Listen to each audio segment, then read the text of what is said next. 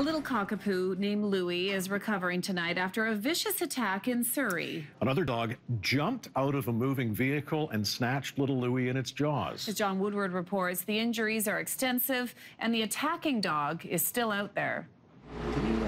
Louie is lucky to be here. Big teeth gone through the lungs, rupturing the diaphragm was very bad.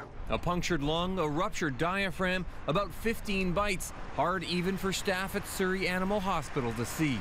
It's very hard, very hard. Almost the whole staff cried when we got Louie. Uh, me and Louie, the little dog, were somewhere here. Terrence Burke was walking the one and a half year old Cocker Spaniel Poodle Cross along 134th Street and 80th Avenue.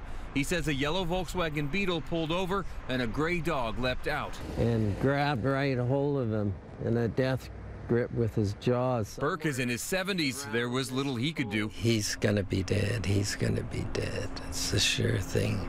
That's when neighbor Leslie Hayes stepped in.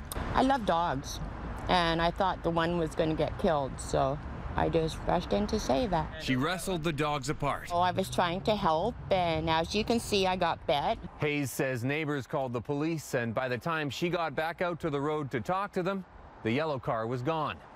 It's not the first time a dog has leapt from a vehicle to attack another. It happened in Yaletown in June. In that case, the five-month-old Cocker Spaniel named Mia died. In this case, the RCMP doesn't know who the attacking dog's owners are. Surrey Animal Control didn't return calls. Burke wants someone to find the owners and teach them a lesson. It looked like they had no control over the dog whatsoever. As for Louie, vets say he has one more surgery before he's back on his feet. John Woodward, CTV News, Surrey.